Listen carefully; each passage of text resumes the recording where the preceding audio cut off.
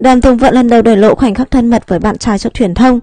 Khán giả không khỏi bấn loạn với khoảnh khắc ngọt ngào của Đàm Tùng Vận và tình mới. Năm 2022, Đàm Tùng Vận lần đầu thử sức với vai phi công trong phim truyền hình Hướng gió mà đi. Phim ghi nhận mức rating khủng vượt xa dự án của chị Đại lửa 80 năm như New Diệp Phi. Trong phim khoảnh khắc Đàm Tùng Vận được bạn trai buộc tóc đã khiến khán giả tan chảy vì độ ngọt ngào của cả hai.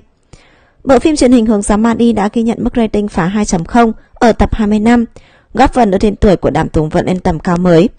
Đây cũng là phim thứ hai vượt mốc rating 2 của cô, sau bộ phim lấy danh nghĩa người nhà đóng cùng với Tổng Uy Long. Ở hướng gió ma đi một lần nữa Đàm Tùng Vận nhận cơn mưa lời khen về việc mắt tay khi chọn kịch bản. Trong phim cô đóng cặp với Vương Khải, cả hai nhận về loạt đánh giá tích cực về độ ăn ý cũng như chemistry khi xuất hiện cùng nhau. Đặc biệt phân kịch Vương Khải bực tóc cho Đàm Tùng Vận được xem là cảnh quay đáng chú ý nhất từ thời điểm phim lên sóng tới nay. Trước đó, cô Nam Đình Vương Khải ân cần buộc tóc cho bạn gái Trình Tiêu Đàm Tùng Vận.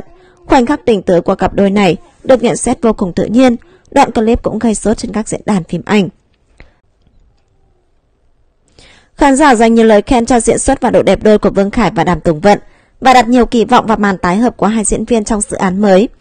Trong bộ phim Hướng gió ma đi xoay quanh câu chuyện về cuộc đời của phi công Trình Tiêu và lãnh đạo hàng không Lộ Châu Cố Nam Đình. Cặp đôi cùng trải qua nhiều khó khăn trong cuộc sống công việc, vun đắp cho tình cảm của cả hai, ngày một phát triển.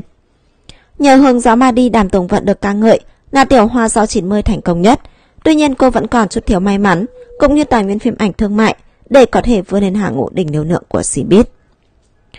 Cảm ơn cả nhà đã lắng nghe video của PVlog. Cả nhà đừng quên nhấn like và đăng ký kênh để nhận được những thông tin mới và hot nhất. Xin chào và hẹn gặp lại.